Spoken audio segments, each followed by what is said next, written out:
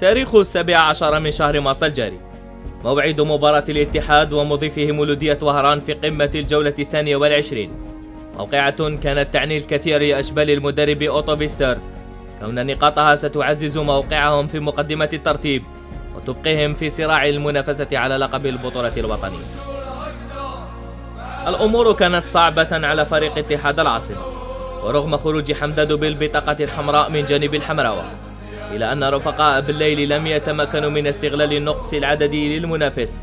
فضيعوا نقطتين ثمينتين من ملعب أحمد آه، يعني الماتش كنا نستناو بلي تكون مقابلة صعيبة. قدام فريق تاع l'MCO وين راهو sur deux deux matchs sans victoire la coupe هنايا مع مع بجايه ت élimina par penalty وال match تاع النهر.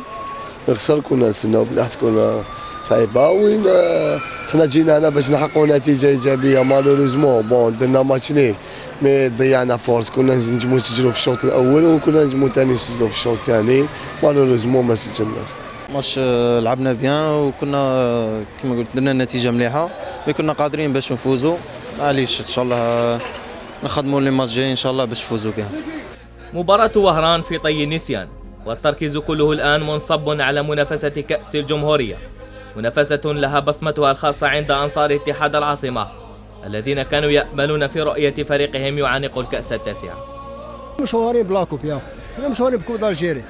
تاع ما كاش البنا كيما coupe d'Algérie. أنا أنا على coupe d'Algérie هي. الشعر ما هي الصح. النهار هي الصح.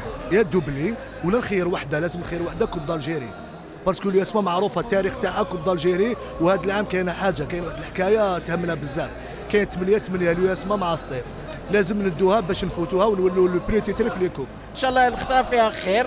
وحنا la coupe c'est surtout la coupe. الساعة تشير إلى الثانية والنصف زوالا من يوم الثلاثاء.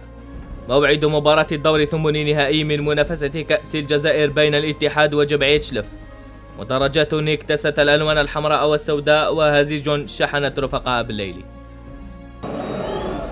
ضغط كبير مارسه هجوم الاتحاد. بالليل يتلاعب بدفاع الشلفوة وصالح يتألق ببرعة في الدقيقة الرابعة والعشرين. مخالفة مباشرة ينفذها بن موسى. فتبودا يرتقي ويمنح الاتحاد الأفضلية في الدقيقة الثانية والثلاثين.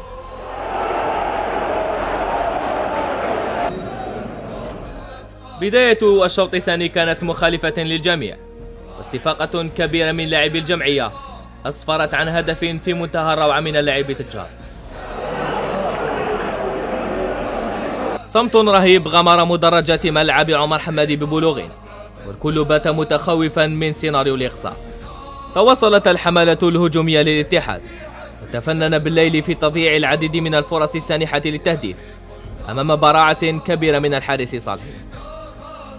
ورغم خروج بادرو بالبطاقة الحمراء من جانب الجمعية إلى أن الاتحاد لم يتمكن للمرة الثانية من الاستثمار في تفوقه العددي يحتكم الفريقان إلى ضربات الترجيح والكل يترقب بشغف. بخطى ثابتة وبخبرة ضئيلة جدا.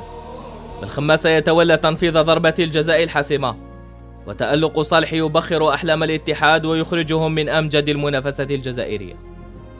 وبالحديث عن النتائج المخيبة لأبناء سوسطارة فإنه من الواجب الاستفسار في قدرة الاتحاد على مجاراة كل الجبهات وهل بإمكان كتيبة أوتوبيسور أن تبلغ أحد الأهداف المسطرة هذا الموسم؟ بطولة أم كأس إفريقية؟